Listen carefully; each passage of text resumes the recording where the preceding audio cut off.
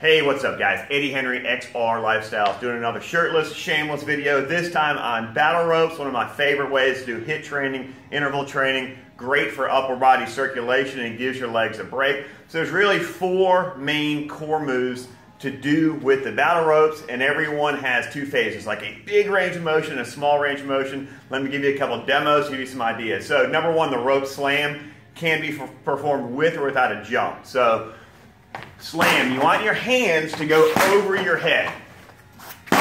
And then part B of this would be same thing, but small and fast. Small and fast. Okay, so that's my first favorite move. Second would just be individual arms, big range of motion. Again, you want your hands about level with your head. And then another option would just be small and fast. Okay, third favorite move, snakes. Retract your shoulder blades, external rotation, big range of motion, or as always, you can go ah, small and fast. And then last, probably the best for the rear delts, change your grip, squat, open up, squat, open up. And again, small and fast is a good option. Great for the rear delts. Okay, so those are my big core moves. I normally do one for a minute, then alternate. Next, if you want to work your core, you pretty much have to be twisting in some shape, form, or fashion. So one good one, change your grip, turn, turn, turn, turn. You can also do this one seated. It can be hard on the tailbone, but twist, twist, twist, twist. Another good one to do, lock in, twist your core back and forth.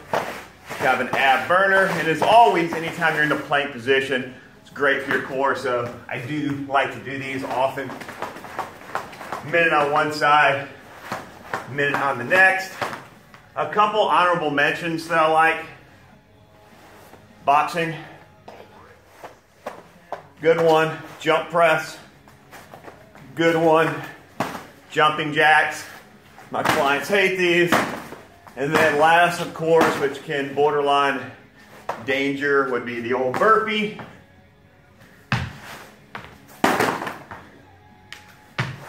Okay, so there's a lot of options for you guys to do these, and you can always insert leg moves. So if I'm just doing this, and my legs aren't sore, side lunge.